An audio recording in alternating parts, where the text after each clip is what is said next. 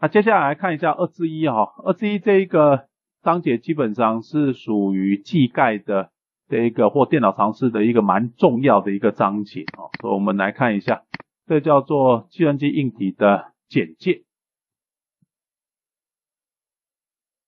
啊，还是要多喝水哦。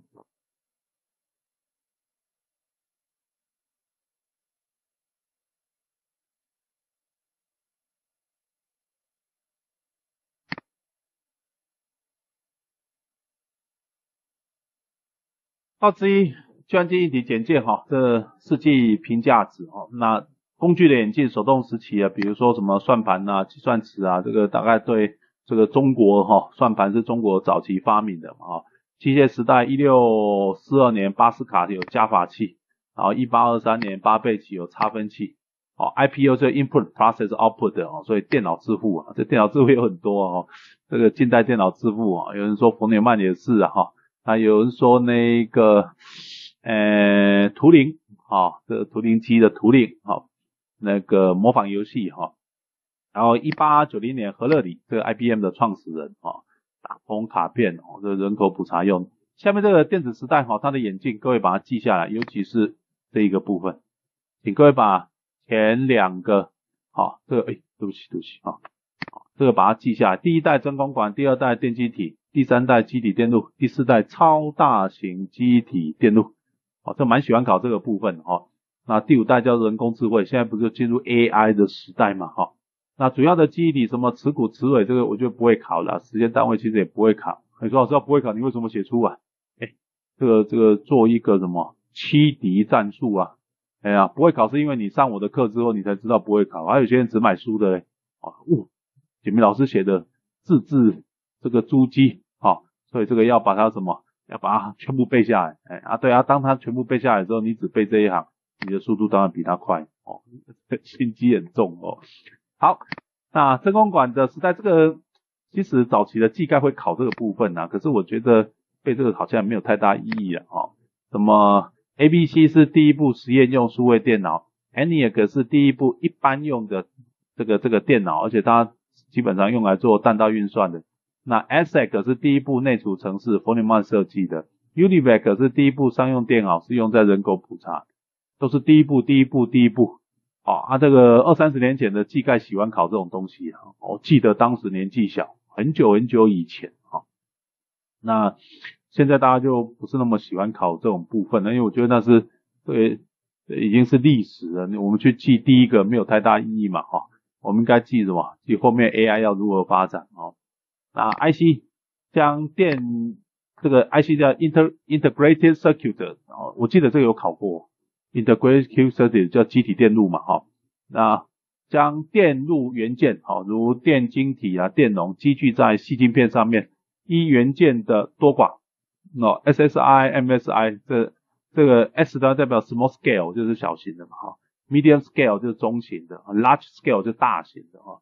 超大型叫 VLSI，极大型 ULSI 哈，如微处理器 CPU 啊哈，那体积越来越小，容量越来越大，速度越来越快，精确度越来越高，可靠性越来越高，功能越来越强，耗电越来越低，价格越来越便宜啊，这是这样的一个变动哦。在第五代电脑叫人工智慧叫 AI，模仿人类思考模式，让电脑能学习、记忆、推理哦，这个目前。最流行的，哦，辉达，哦，NVIDIA，哦，这是人工智慧的部分，哦，常见应用叫机器人呐，好，电脑视觉，然后语音的辨识 Siri，哦，庄家系统啊，比如说知识库啊，推论引擎呐，啊，人机界面呐，哈，以推导分析来解决问题，哦，常用语言叫 Lisp、Prolog、Scheme，哦，等等。那摩尔定律是 Intel 创办人的 Golden Moore 提出来的，他说，单一晶片的电晶体数量每十八个月成长一倍，哦。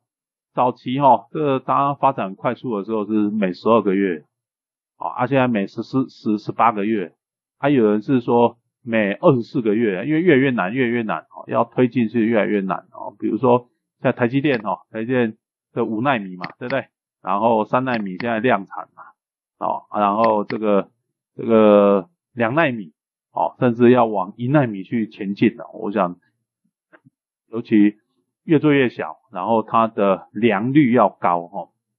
好，那元件密度越高，元件之间的距离就越短，速度的速度当然就越快。为什么啊？你你本来是传送讯息是要传一百公尺，它现在变成一半，变五十公尺，五十公尺上速度比较快，对不对？啊如果再变一半，二十五公尺的更快啊！如果变成二十五公分，哇，这十分之一啊，百分之一啊，哦，公尺变公分嘛，哦，这这百分之一哦，那速度当然越快啊，速度越快，距离越近，体积当然就变越小，应用范围就越广。为什么？当东西可以做的很小的时候，你可以随身携带的。这为什么现在的智慧手机哈可以做到那么强大功能，而且这个这个又可以做那么小哦？那相同大小的晶片，元件数越高，功能越强，稳定性越高，哦，那直接连就不焊接，哦，等等，叫摩尔定律。那摩尔定律的话，各位重点在什么？每十八个月这个倍增一次。那这个有些这个计算题啊，会考到 Gordon m o r e 的摩尔定律啊。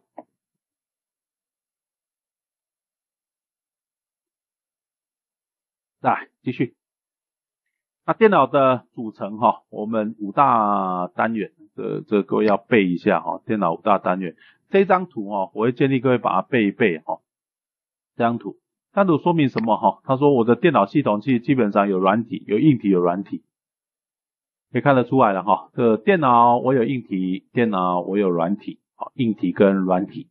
那硬体的部分有五大单元，好，五大单元，那五大单元？输入输出嘛，input。哦，你要把一些这个 data 要把它输进去，好，output 就是处理完的 information，information 你要把它输出，所以 output，好，那 input 加 output 叫 I/O，I/O 又称为什么？周边设备，因为要各式各样的输入输出的设备，比如说我可以输出到印表机，好，把它输出去，好，把它列印出来，这是一个输出嘛？那我可以什么？显示在荧幕上，哎，这也是输出。那简明老师的声音。哦，这透过各位的喇叭把它播放出来，那这也是一个输出嘛，对不对？所以这叫周边设备，叫 I/O。然后再来呢，再来的话，我有控制单元。什么叫控制？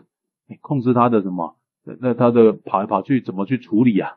然后算术逻辑单元，算术运算的意思嘛，对不对？哦，算术运算跟逻辑运算，也就是说，对电脑来讲，早期它可以帮我们处理的就两大类型的运算，一个叫算术运算，加减乘除嘛。一个叫做逻辑运算，and or not，好，这叫逻辑运算。那 C U 加 L U 加起来就是什么？C P U 中央处理单元，好，这个是三子系统的部分。这一个哈资料要把它记下来，所以是叫记忆单元。好，五大单元又称为三个子系统，因为输入输出加起来叫做 I O 周边设备。然后 C U 控制单元跟算术逻辑单元，C U 加 L U 称为什么？这个 C P U 中央处理单元。那最后一个记忆体，好叫记忆单元 Memory Unit。哦，所以三个子系统。软体的部分包括所谓的系统软体跟应用软体。系统软体就是我要组成一个可以使用的系统，必备的三，哎，应该是常见的三个系统。一个叫什么 OS 作业系统，比如说我们现在用的，好，我们在哪一个平台？我们这个叫做 Windows 平台，微软的 Windows，Windows 也是一个作业系统。你用的手机，安卓手机，Android，这是一个系统。然后所谓的 iOS，哦，苹果的系统，那这个叫作业系统。程序员写程式的部分嘛，对不对？那我可以利用程序员去开发。我的很多的应用程式哦，那公用程式通常的工程大概是防毒软体啦，这个这个 Norton Utility 之类的哦，这公用程式。啊，应用软体就是各式各样的应用，比如说最常用的是套装软体哦，套装的部分啊，套装的部分比如说 Office，好，这也在我们的应该是四至二吧，啊，四之后就会谈到那个哎四至一啊，四至一啊会谈到 Office 的部分，Office 的操作哦。然后专案开发就是你你套装软体就是开发出来给一般普罗大众平常可能大家都需要用到的功能，这叫套装软体。那因为它可以一次卖几千万套，所以每一套的成本就压低嘛。啊，可是有些专有些专有的功能哦，有些这个这个行业在用的哦，比如说公证系统哦，公证业在用的等等，那它就是专案开发的部分哦，这应用软体哈。好，那这张图哈，有关硬体跟软体的部分，所以各位要把它背一背哈。那接下来哈，我们要介绍叫做冯纽曼机器啊。其实你要透过冯纽曼机器，你才知道说为什么我们的通用型电脑哦，它有输入设备、输入装置，然后这个输入单元，然后它有输出单元，它有控制单元，它有算术逻辑单元跟记忆单元。事实上，这些五大单元源自于所谓的冯纽曼机器 （von Neumann Machine）。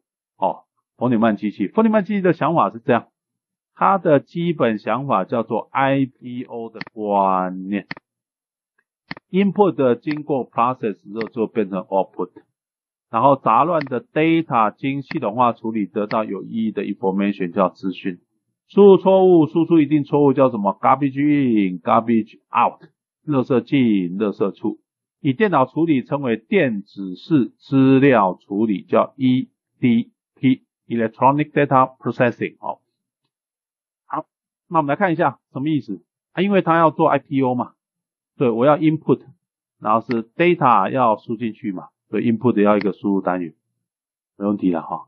然后呢，做完叫 information，information 要怎样？要输出，所以输出单元。就刚刚其实我有做一个解释了嘛。然后输进来之后，我要暂时把这些资料怎样存起来。好，存起来就是什么？记起来，这叫记忆单元。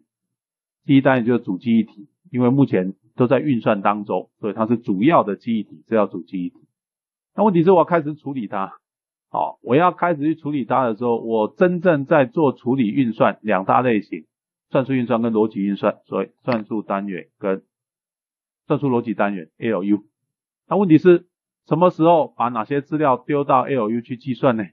我要一个控制流程，所谓控制流程其实就是写程式嘛，program 好，那我要去执行我的 program，那这时候什么时候做什么样的动作，那由谁来决定？控制单元来决定。哦，那机器有时候会关机啊，资料我需要把它存起来，所以这叫辅助记忆体嘛，它一样是记忆单元，可是它辅助记忆，那整个加起来就叫什么？冯纽曼的 IPO 概念，所以这就是一个 von Neumann 的一个 machine，冯纽曼机器是一个。通用型的机器，好，各位要有这个基本的概念。冯纽曼机器是一个通用型的机器，好，那这有个概念叫 GIGO（Garbage In, Garbage Out），是很早以前考的概念，哦，不过我记得中游应该没有考过 GIGO 这个概念，好，这这是一个 common sense 啊，基本的一个想法。那电子式叫 EDP。那四大重点就是第一个三子系统，电脑五大单元，刚刚有解释了，不断跟各位讲，有输入有输出，输入加输出，好，这叫 I/O，I/O 的话是周边设备。那有算术逻辑单元，有控制单元，ALU 加 CU，好，Arithmetic and Logic Unit，算术逻辑单元，算术逻辑单元加上这一个控制单元，就称为中央处理单元 CPU，然后记忆体记忆单元，对不对？好，那。算术逻辑单元，他说哈，引导资料经适当的路径执行算术运算跟逻辑运算，好取得正常结果，这又称为资料路径 （database） 哦，就看资料如何跑的意思。database 资料路径单元，这个在普考曾经考过，啊，那各位的中有考试会不会考？我觉得应该不会考到那么细啊，因为一般对外叫做算术逻辑单元，可是因为它是。引导资料通过适当的路径，所以又称为这个资料哦，database 哦，资料路径单元啊。那这个是比较冷门的一个讲法哦。那 CU 控制单元，微程式或硬体实作，hardware 微程式是 CISC 的想法哦，硬体实作是 RISC 的想法。那协调各单元的动作哈，控制程式的执行，这执行的周期，这各位把它记起来哦。好，这个会考哦，这个会考，这个这个会考。Fetch decode execute restore，fetch 就截取嘛，decode 就解码嘛，execute 就执行嘛，restore 就把它回传回去啊，截取截取解码执行回存啊，截取解码执行回存。在记忆单元 MU 啊，包括主记忆体，主记忆体是执行时哈暂存讯息用，就是说我主要的这个程式在跑的时候哈，我要存资料哈，就把它放在主记忆体，啊，万一关机时永存资料放在什么辅助记忆体嘛，哈，那这个三子系，诶，五大单元或三子系统，哦，这个各位要记一记。那内储程式 store program 的意思是说，我程式要执行的时候，所有资料都一定要放在什么？放在主记忆体里面。程式跟资料需载入主记忆体才能够执行，这个叫什么？store program。那内储程式事实上就是弗里曼机器是通用型机器的一个重要的概念。为什么？哎，我把资料跟程式换掉，现在我换的是可以播放音乐的，好，可以让你听音乐的，啊，那你就它就是一个电脑就是一个什么？一个一个这个呃 video，这不是 video，哦，这 audio player 就是一个呃早期那个叫什么随身听了哈。好，你把它改成游戏嘞，啊，游戏它就是一个游戏机啊，哦，就是天堂游戏机哦，一样的意思啊，哦，所以它是一个通用型的概念。那程持续处理一次执行一个指令啊，二进制，二进制取代十进制啊，哈，那可以大幅减少所需要的元件。弗里曼的 bottleneck 就是弗里曼瓶颈啊，好，弗里曼瓶颈就所有东西都要放在什么？放在主记忆体才能够执行啊。那主记忆体的速度如果慢，那整个系统就会慢了，对不对？好，所以执行的瓶颈会在主记忆体的读写速度。那解决呢？哦，要不就是让它变得快一点，或不或者说减少这个 DRAM 的一个读写的次数啊，这是一个弗里曼瓶颈。弗里曼瓶颈理论上在中游里面应该不太会考哈。那下面是各式各样的电脑的类型，哦，接下来后面我们各位看得到就是各式各样电脑，这些比如说 super computer 超级电脑，什么国家级呀，哦，然后这个 IBM 的 Blue Deep 深蓝，哦，蓝色基因 Cray 的 Jaguar，机架，哦，那 Mainframe 是稍微大一点的，哦，大型电单位在使用的，哦，集中式的架构。Mini computer 是比 mainframe 比较小一点，哦，那所以小大概是功能比较差的，但是价格比较迷你。那 Mini computer 已经因为高不成低不就啊，这个大概在二十年前就被淘汰掉了，哦，就是因为各位的技概哈，这个这个中有尝试，呃中有的电脑尝试哈，基本上。他考有时候有很难讲啊，考到十几年前、二十年前的技概内容去啊，那这个大概就是属于二十年前的哈。那时候有个 digital 吧，我记得 digital 就做 man 这个 mini mini computer 的，大概二十几哦。好，啊 personal computer 是个人使用才微处理架构，又称为电脑桌上型 desktop，就是 IBM 相容的啊，Windows 作为系统啊，或 Intel 叫 Intel，啊，这是。早期啊，在二十几年前的时候，Intel 多多夯啊，哈，Intel 的股价多高啊，现在 Intel 呢不行了，被手提式这个这个可惜式的设备哦打垮，被 ARM 架构打垮，哦，所以 Intel 只在桌机啦，在个人用的领域里面哦还占一点优势哦，那其他大概不行哦，那包括现在的。比如说 NVIDIA 哦，回答晶片出来嘛，哦，因为进入人工智慧的时代，可是 Intel 哦提不出它的 solution 出来，它还是在吃老本哦。那 Mac 当然就是 Apple 苹果哦，这史蒂夫工作先生 Steve Jobs 哦，工作嘛，贾博士就是工作的意思啊，哦，那它是一个图形化的界面 GUI 哦，各位如果有用你的 iPhone，那大家就很清楚哦。那虽然我这个吴少爷贱啊，没钱买 iPhone，我从来没用过 iPhone 哦。羡慕人家可以用 iPhone 啊，这个是舍不得买啊。我再怎么买都是这个 vivo 哦，OPPO 哦，因为他们拍照很好啊，我拿来要拍我女儿的哈，这拍照我觉得功能还蛮强的。可惜是 portable 哈，可随身携带，如笔记型跟平板电脑。那低价电脑，华硕推出 E E E P C，哦，这个很久以前的了哦。平板电脑 tablet，我想这非常非常久哦。那 embedded 的这嵌入式啊，嵌入式常见的架构是 x 八六啦，或 ARM 架构啦，MIPS 架构啦，PowerPC 架构啦。我觉得，呃，看看就好了啦，哈。对，因为这这种各式各样的嵌入式电脑的架构其实都在做变化，哦，比如说现在是高通的哦。Snapdragon 小龙系列，对不对？好，然后呃华为哦，华为有麒麟系列哦，那 PDA 这是很早期的哦，哇，这常见的 OS Palm 啊，Win 哦，iPhone、Symbian、Linux、Android 哦，那这个看起来是 PDA 早期的哈，早期 PDA 大概就是手手提电脑、手掌上型电脑的意思，啊，之大概也二十几年前了，民国八十几年、九十年左右，八十八年，都二十几年前胖是很流行的，胖西医哈，一这个这个这个西 Win 西医嘛哈，胖西医。然后那时候跟后来慢慢的那个 PDA 的部分就演变成智慧型手机，因为把它结合起来哈，穿戴型你就可以穿上去的。那其他类型的 AIO 是 All in One 的绿色电脑，大家就环保。那很久很久以前喜欢考那个能源之星啊，哦，这个哇，这个大概都真的都二十几年前哦。其实这个章节我觉得倒还好，应该不太会考到这个部分哦，呃。下一次如果有，我大概会把这整个都删掉哦。不过主机板的部分哦，主机板架构我觉得有可能会考，各位可以看一下。所以主机板就是我把所有的元件都放上去嘛，对不对？然后通电上去，那它就是一台主机的一个这个主要联合所有的元件的一个板子，叫主机板哦。Motherboard 哦，连接电脑相关元件的电路板。那讯号在传有两种类型的讯号勾起来，一个叫 Parallel，一个叫 Serial。Parallel 就一次可以传很多个 bit，Serial 是一次可以传一个 bit，一个 bit 就零跟一的意思哦，Serial。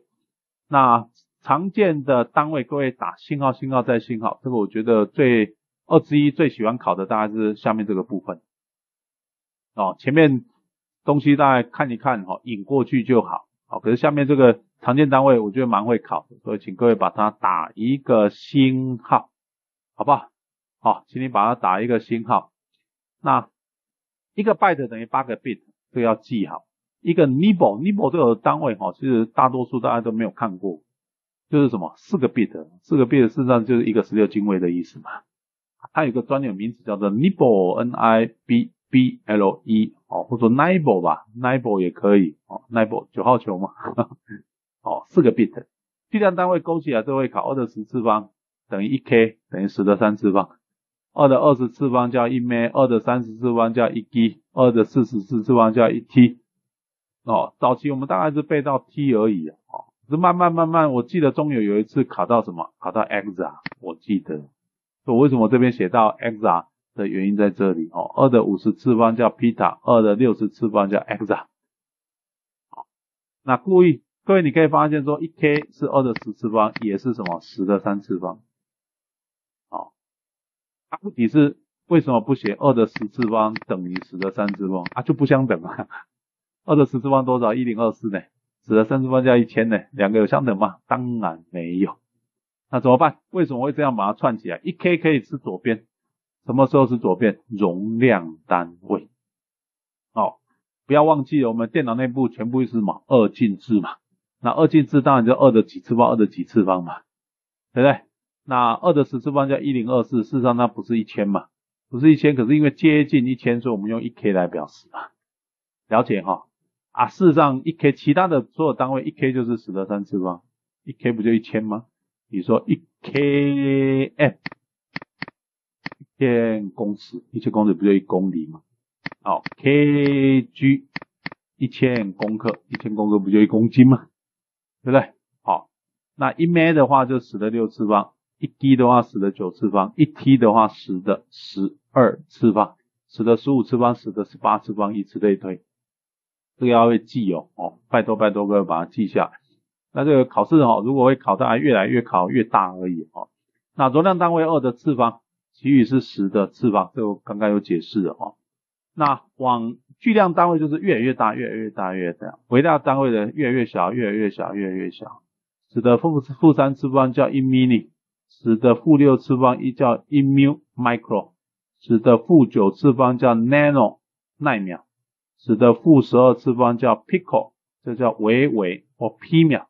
好，我如果没有记错，这边还有是那个十的负十五次方来找找看哈，啊，应该是啊。哇，这个找得到吗？技盖好，好，因为我觉得还是要帮各位做个更新，好的哦。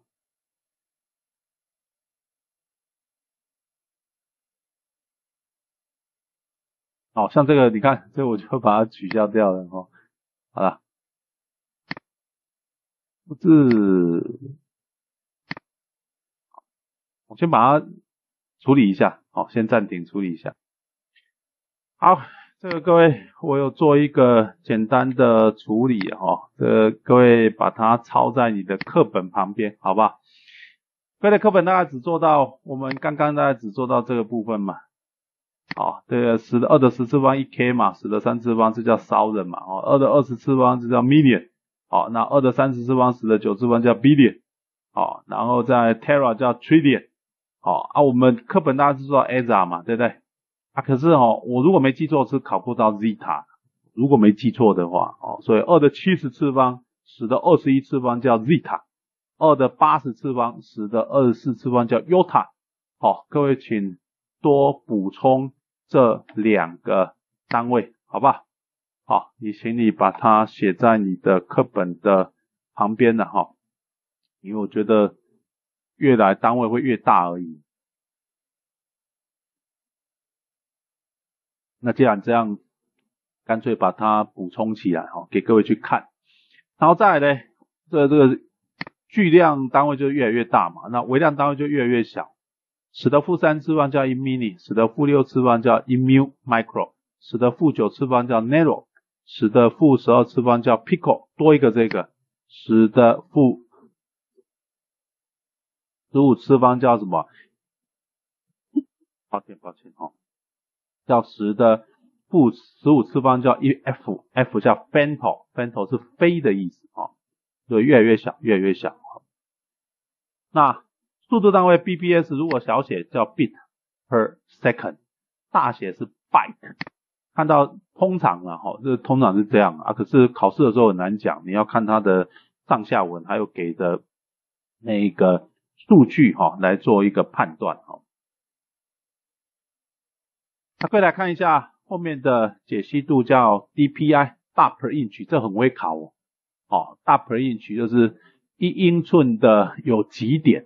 那通常它用到用在两个部分，一个是扫描进来的品质，扫进来，哦，三百 dpi 扫进来，六百 dpi 扫进来，或者是九百 dpi 把它印出去，好，扫描或者是列印的品质，我们通常用 dpi 这个单位，哦来做处理。那列印速度哈，有 cps，有 lpm，有 ppm，哦，这都很早期，这是。在描述我们的印表机，那早期是那种这个，呃，呃，这种机有没有？哦，那个是色带的，哦，这是撞击式的印表机啊，哦，点阵式。那那个时候速度很慢，所以它用 CPS（character per second），一秒钟印几个字的。那 LPM 是 line per minute，一分钟印印印几行的。现在大家都没有，现在练速度都很快的。现在大概比如说我们用镭射印表机来印嘛，ppm page per minute 一分钟印几页的，好，这个当然单位就不一样。那十脉呢，一秒一次叫一赫兹，giga 赫兹当然就是 giga 是十的负 s 的九次方嘛，对不对？那一秒产生十的九次方十脉，每个十脉呢十的负九次方秒，十的负九次方不就是一奈秒的意思嘛？那也不就在这里吗？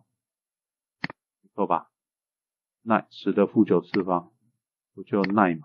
好，那热插拔又称为带电插拔，可以在电脑运作时插上或拔除硬体的功能，以避免主机板或周边装置的烧毁。好，热插拔就是它开机的时候可以这样插拔哦。那随插直用就比如说你的随身碟啊，这个插到我们的这一个电脑里面哈，USB 的插孔插进去，哎，随身碟可以读取的。为什么 plug and play 啊？PMP 的功能啊，然后 driver 当然就沟通的桥梁哦。那这个 UPnP Universal Plug and Play 这个是网络的功能哦，家庭网络哦，所以不要以为这是扩大型的 PMP 哦，这随插即用这个应该改一下哦。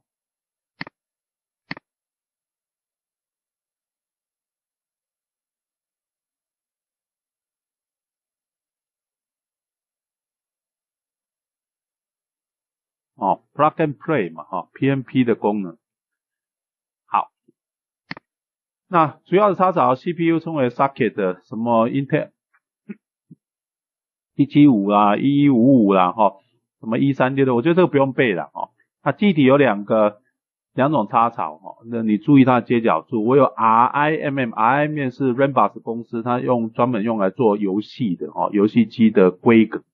那比如说 SIMM、DIMM、Single Inline Memory Modules、EDO、FPM 的 dn 用的，DIMM 的话包括 SDRAM、DDR、DDR 二三，现在到四了嘛，哈，到五了吧，哦。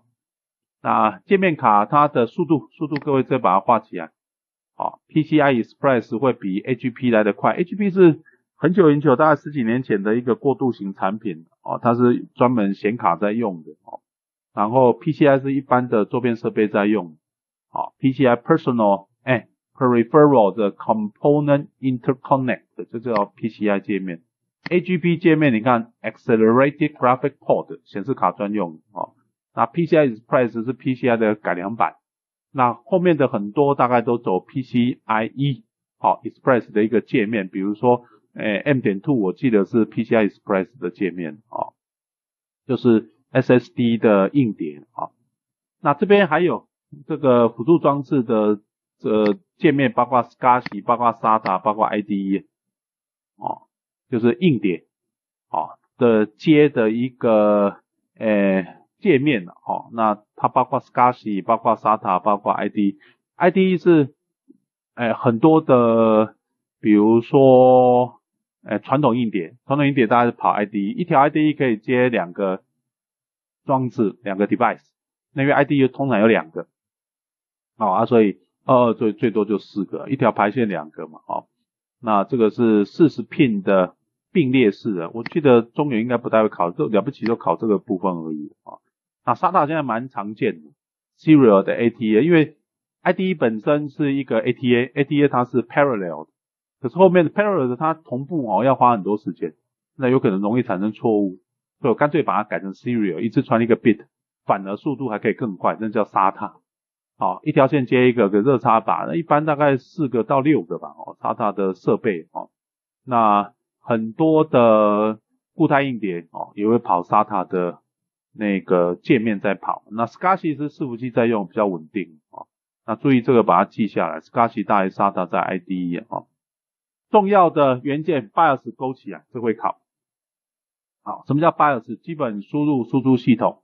ROM 内，ROM 是硬体，组合语言撰写，它是一个软体。硬体的沟通微型程式，那它的功能包括 Power On Self Test 的 Post，Post 就是开机的时候会自我检查，哦，看你哪边的硬体设备有坏掉，啊，硬体初始化的系统设定啊，常驻、中枢、向上、载入作业系统，新一代叫 UEFI 等等。但是基本上你记 BIOS 就可以。哦，BIOS 本身就称为 firmware 韧体，为什么？因为它是用它本身执行软体，可是它放在硬体里面，所以又软又硬的意思。哦，ROM 内的组合语言撰写的硬体沟通微型程式。好，BIOS 要把它记下。晶片组哈负责主机板装置的沟通，我有北桥晶片，我有南桥晶片。好，所谓的北桥，北桥因为北桥就是偏北边上面的意思，那上面是偏 CPU。CPU 通常是在一台电脑的上方，哦，那所以北桥镜片都是速度比较快的，包括 CPU，包括 DRAM 啊，包括显示卡，哦，比较快的用北桥镜片来做。南桥是中低速度的，哦，那新架构是北桥把它整合到 CPU 内，哦，独流南桥。那汇流排叫 bus，bus 什么意思？bus 就是我很多设备嘛，设备之间跟设备之间要传输资料，资料要透过什么？透过汇流排去传，那就 bus 线了，哦。那早期就只有一个系统会流排，好，那它的工作频率，因为 CPU 的速度特别快，所以它用内屏来工作，好，跟外屏，外屏是外部晶晶片用的，啊，我把外屏乘以背频之后，就变成内部的频率，啊，所以内屏的外屏乘以背频系数，好，啊，如果你要把那个背频系数调高，那个叫什么？超频，那有些 CPU 允许你超频，有些不允许。那是早期啊，工程用的时候。不过现在大概没有人在 做这种事情了。哦，大家都在看我要怎么写有用的程式嘛，对不对？好，那效能补偿是 CPU 跟记忆体之间用快取，CPU 跟 I/O 设备用 I/O 控制啊，来提升我系统的效能。看一看就好，这不重要。下面这个蛮重要，打星号，星号再星号，汇流排的类型。好，请各位把这个部分哈，用星号的方式把它 mark 起来啊，我觉得这个部分还蛮重要的，请各位把它标记起来。好，我觉得这个部分很重要哦。汇流排的类型，汇流排类型一传输对象来分类，这种分类方式比较少见。好，包括内部汇流排，包括系统汇流排，包括扩充汇流排。内部就是 CPU 内部在用的，叫内部汇流排。系统汇流排就是速度快的北桥晶片在用的，CPU 跟北桥晶片在用的。哦，反正速度较紧的叫系统汇流排。最后一个扩充汇流排就是周边设备用的嘛，啊，那个速度当然会比较慢一点，所以这叫传输对象分类，包括内部汇流排、系统汇流排跟扩充汇流排。好，那这种分类方式其实我觉得考出来几率很比较低啊。那什么东西会比较高？下面这个各位观众，好，各位观众记下来吧，好不好？这个这个务必要打星号哦。常见的汇流排分三种，一个叫资料汇流排，传送资料用的。那资料汇流排是一种双向的，双向就是我可以由 A 送到 B，A 送到 B，我也可以从 B 送回去到 A，双向汇流排传送资料输入输出。我可以决定 CPU 每次传送的资料位元数，六十四位元的电脑自主长度是六十四位元。也就是资料汇流排的宽度或通用暂存器的长度。注意哦，我们我有三种汇流排，一个叫资料汇流排，一个叫位置汇流排，一个叫控制汇流排嘛，对不对？我说这个比较容易考嘛。那三种汇流排里面哪一种汇流排是决定这个是电脑是几位元？我们用资料汇流排来传来决定的。那资料汇流排就是一次可以送多少位元的资料，所以那叫。资料汇流排的宽度嘛，啊，送到 CPU 内部储存对应的接进去的存的内容，那个叫什么？通用暂存器的长度。但也有可能对外是六十四位元进来之后，我分什么？分三十二、三十二切开，因为早期的技术没那么发达的时候，啊，我允许你六十四送进来，那是假的六十四位元嘛，对不对？啊，可是我把它切成两半，三十二先处理。啊，剩下三十二就放在后面哦。那位置汇流排是单向而且定值用的，这很容易考。比如说，我说我要有四 G 的记忆体，好，四 G byte，请问你位置有位置汇流排要几个位元？四 G 二的二次方嘛，对不对？二的十次方，二的二十次方叫做每二的三十次方叫 G，所以二的三十次方。所以事实上几条线，二的三十二次方，我要三十二条的位置线嘛。括弧号，位置汇流排的宽度就是拿来决定它的定值空间，不会考哦。哦，单向定值用，我来决定 CPU 所能使用的最大记忆体空间，十条位置线，二的十次方，一 K，对不对？那如果我是三十六条嘞？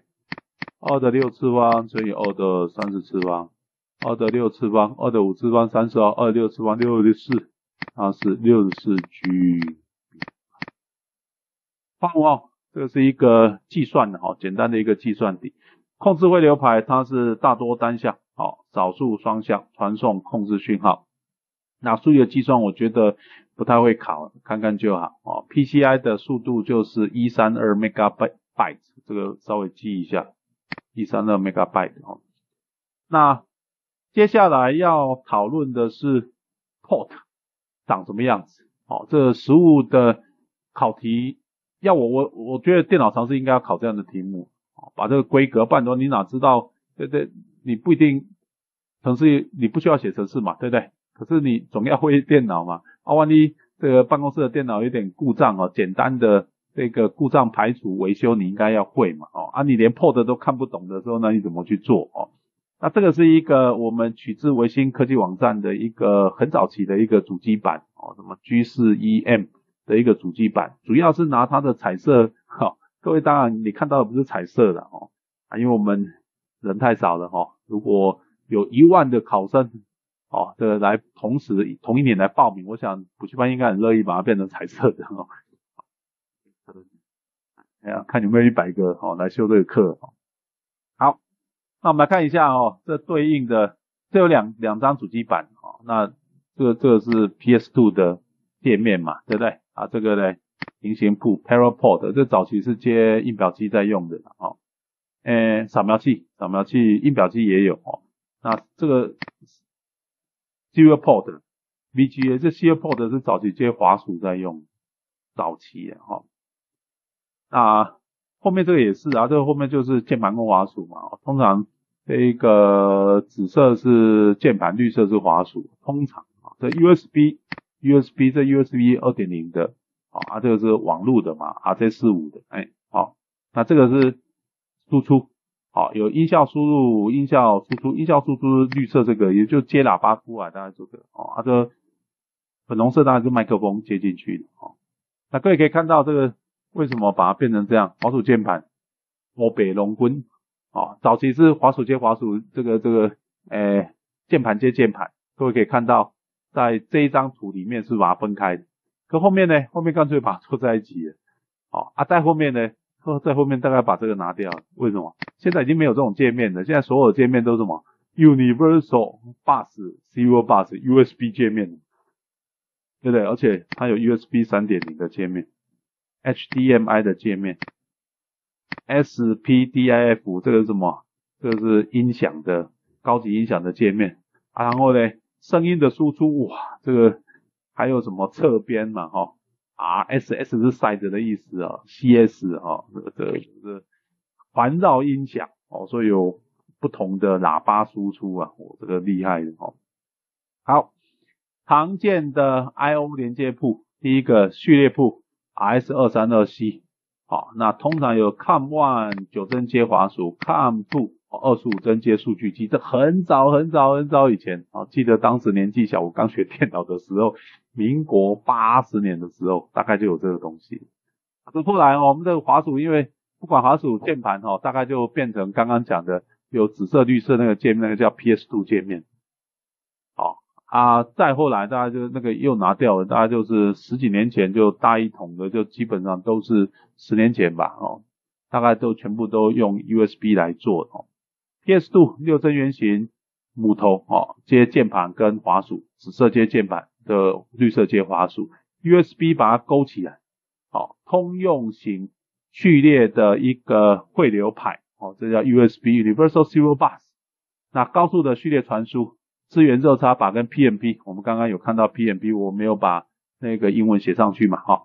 那各式各样，目前大家就大一统了，比如说包括键盘啊、滑鼠啊、印表机啊、扫描器啊、DV，哦，全部大家都是用 USB，那标准 USB 多少？USB 三点零，这看一看就好了，哦。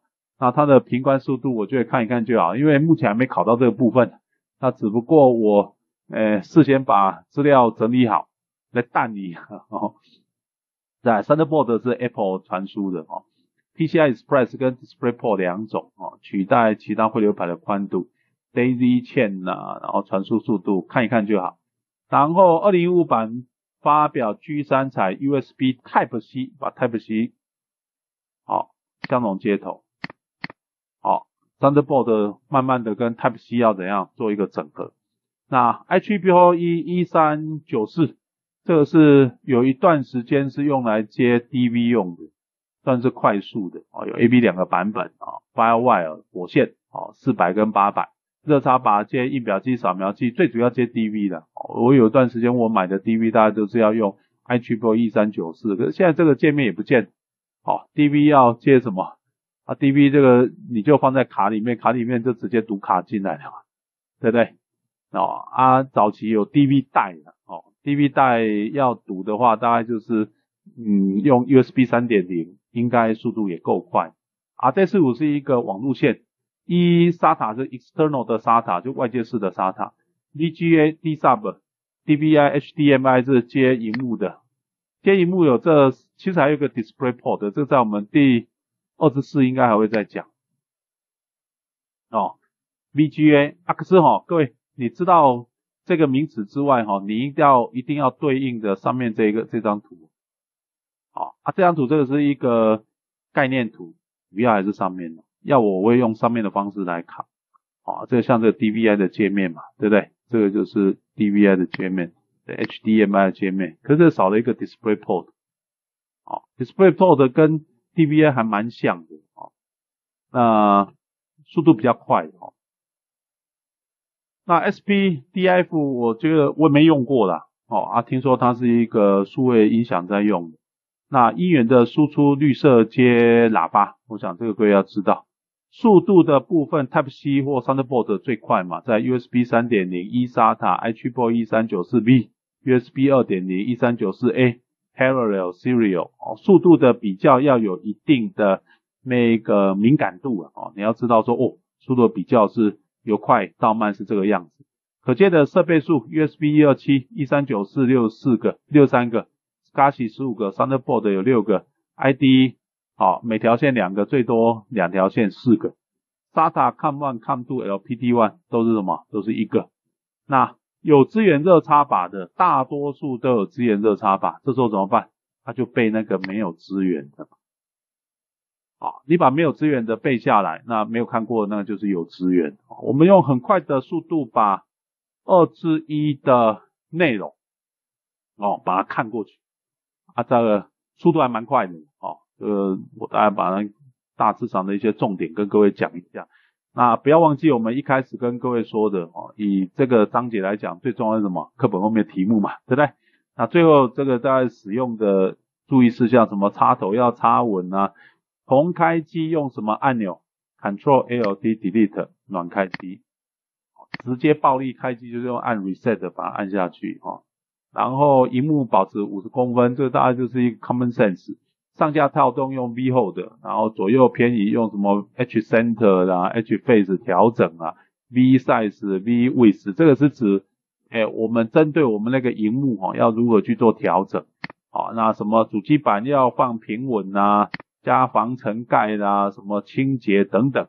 好，我觉得这个稍微看一下就好，因为它是一个公民与道德嘛，哈，这这这有个基基本概念就可以了。哦。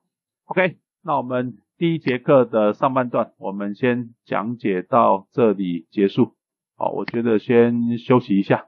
那我们等一下，好来看二之一后面的课本习题。好，课本的题目，题目的讨论才是我们的重点。哦，很快的把它讨论过。哦，那利用题目，哈，那种疲劳式轰炸，一直让你加深概念、加深概念、加深概念。好，呃，这个看到题目，本能反应就会写，这是。上简明老师的课的主要目标。OK，我们今天第一堂课的上半段，我们先讲到这里结束，先休息一下。